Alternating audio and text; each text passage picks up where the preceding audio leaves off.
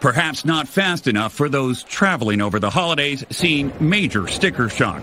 Fuel prices up 58%, hotel rates up more than 25%, car rental rates rising 37%.